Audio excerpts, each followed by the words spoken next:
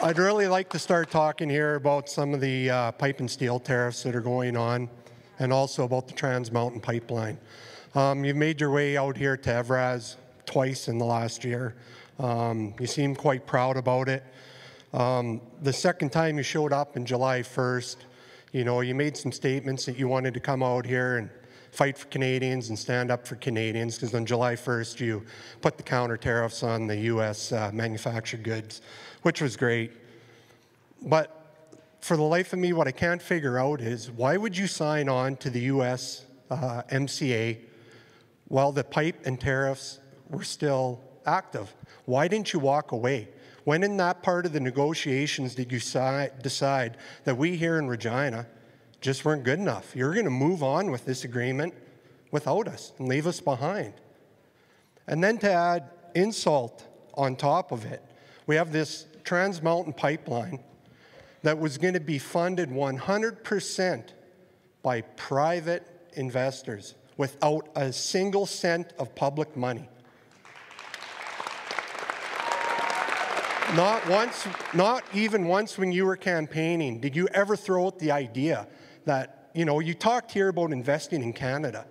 Well, never in your platform did you say you were going to go out and buy a $4.5 billion company. Like, this whole pipeline was going to get put in the ground without you spending a cent of all of our money.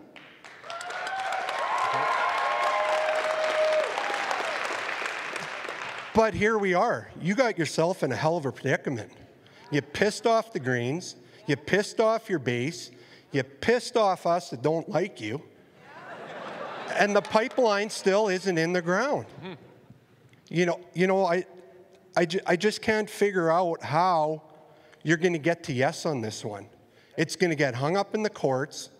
People are going to challenge you because now, you know, you own the pipeline and now you get to say how it's going to go in. We have a national energy board that was put in place that put all these onuses on these companies to, uh, you know, meet the standards of what the people wanted.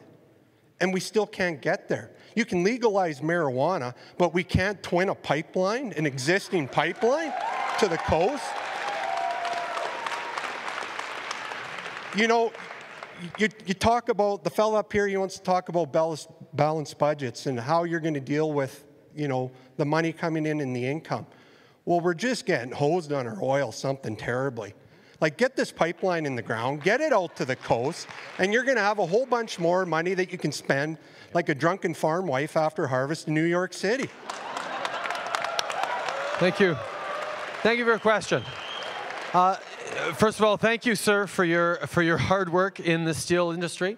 Uh, I know how important it is the work that you do, the work that uh, folks do here in in Saskatchewan and Alberta and right across the country in our oil industry, in our steel industry, in making sure uh, that we are getting our resources uh, to uh, to markets and, and, that we are growing as an economy. So I recognize the challenges that these steel and aluminum tariffs represent. Uh, to our economy, to uh, your work, and that is why we are taking these steel and, uh, and aluminum tariffs extraordinarily seriously. It's why we came in with countervailing uh, tariffs, uh, and thank you for your support of those, uh, on American products, which is creating pressure within the American system by uh, governors of, of, Kentucky, amongst others, uh, to put pressure on the president to actually move off of those steel and aluminum tariffs. Your first question was indeed about uh, the signing of the new NAFTA deal? And should we have not gone ahead with NAFTA because of the steel and aluminum tariffs? And that was certainly a question that we had to ask ourselves and that we reflected on because these tariffs are hurting our workers, hurting our economy. One of the things that we've done is make sure that we are uh, supporting and putting measures in place to support companies like Evraz, but it's not just Regina. It's companies in Sault Ste. Marie for Algoma Steel. It's companies in Hamilton. It's uh, aluminum companies in BC and uh, in Quebec that are all being negatively impacted by uh, these punitive American tariffs. And every single conversation I've had with the president, I bring up the fact that these tariffs are not just hurting uh, Canadian workers like yourself and Canadian companies, they're also hurting American workers and American companies. And we're seeing increasing stories on that. So we were in a position where we had to reflect on do we sign a, the new NAFTA with our largest and most important trading partner and pledge to continue to look for moments to pressure the U.S. to remove these steel and aluminum tariffs? Or do we walk away from a $2 billion a day trading relationship that is hugely important for the Canadian economy? Securing NAFTA at a time of unpredictability and protectionism in the United States was a massive priority for all Canadians. And we did it, and we did it together. Premiers of provinces right across the country, including right here in Saskatchewan, stepped up and all across political perspectives and ideologies, we spoke with a very clear voice about Canada's priorities, about what we needed in the new NAFTA deal, and we got a good deal for Canada. And we secured our most important trading relationship. And that is not a small thing. Yes, I would have liked to have been able to convince the president to pull back the steel and aluminum tariffs before signing, but that was not going to be possible. That was very clear from the US administration. So the choice then became do we actually secure NAFTA or not? And I know here that steel and aluminum is extraordinarily important, but so are our agricultural exports, so are uh, the billions of dollars worth of trade that every part of the country does with the United States, our most important market every single day. And that is something uh, that we needed to secure. Now, it's not over, obviously, because the US still has to ratify the new NAFTA deal.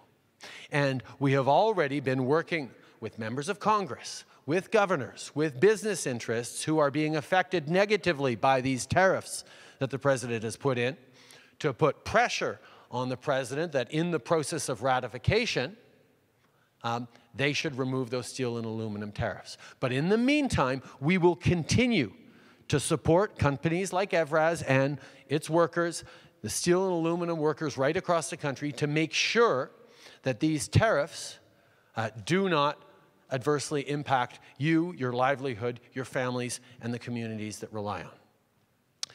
Secondly, um, the Trans Mountain Pipeline. Uh, let's be very clear. Kinder Morgan was walking away from the Trans Mountain Pipeline. Um, they were walking away because they felt the political risks were too great. They, were, they felt that the context they were in with uh, the government of BC being opposed to the pipeline uh, and the complications they were facing around this, uh, they wanted to throw up their hands and walk away. And for me and for all Canadians, it is an absolute priority to get our oil resources to markets other than the United States.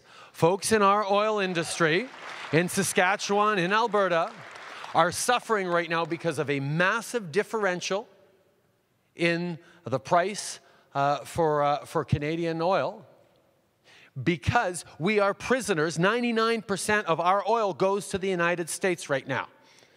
And, you know, on top of that, the United States is sometimes a challenging partner to deal with. It makes sense to diversify our markets to uh, markets in Asia.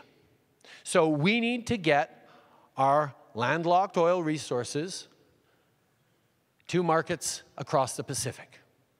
The Trans Mountain Pipeline expansion will allow meaningful impacts on that. And that is why we made the decision that the federal government should take over the pipeline expansion project. Now, I am confident, and I think most people who know the oil industry are confident, that that pipeline that, as it is, makes money every single month with the existing pipeline, is going to be very valuable once it is completed. It is not, as you pointed out, was not in my platform that I was going to buy a, platform, buy a pipeline for Canadians. Um, but it was in my platform that I was going to grow the economy and protect the environment at the same time and do it in thoughtful, responsible ways.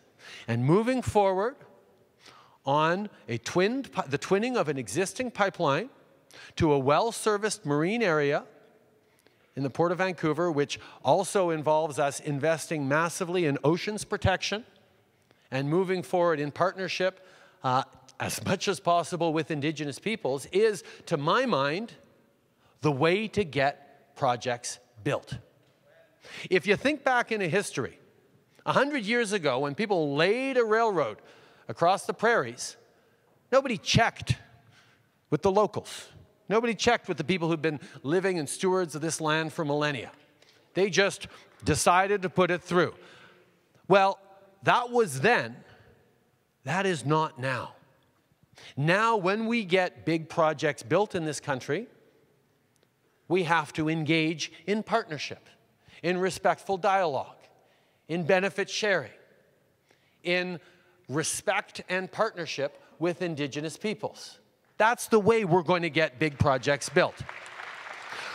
We also, for Canadians across the country who are worried about future generations, about protecting our air and water and land, we also know we have to be responsible about the environment and thoughtful about the impacts on future generations. Now, the previous government, you might want to plug your ears, sir, I'm about to mention Harper again. Um, sorry, I don't mean to be quip about that. Um, the previous government had, as everyone does, uh, a priority of getting our resources to new markets. But they thought the way to do that would be to minimize environmental oversight and marginalize indigenous voices that disagreed uh, with the pipelines. Thank you. Um, that fact didn't work. For 10 years, the pipelines weren't able to be built. We did not get resources to new markets other than the United States under the, conserv uh, under the conservative government. We are now on track to doing that. We are now on track to do, sorry, sorry, we've got two people shouting at me on exact opposite sides of the question right now. We got exactly the exact thing. We have folks.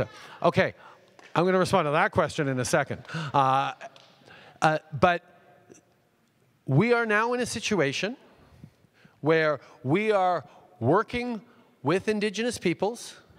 We are working with environmental science scientists to make sure that the impacts are minimized, and we are going to move forward in the right way. And quite frankly, the Federal Court of Appeals uh, laid out a blueprint whereby we could get the consultations right and move forward in the right way, and that is what we're focused on doing. We are focused on getting our resources to new markets and doing it in the right way. That's exactly what we are going to do uh, because that's what you need, that's what uh, the, the uh, oil sands need, uh, and that's what the Canadian economy needs in terms of that. So thank you very much for your question.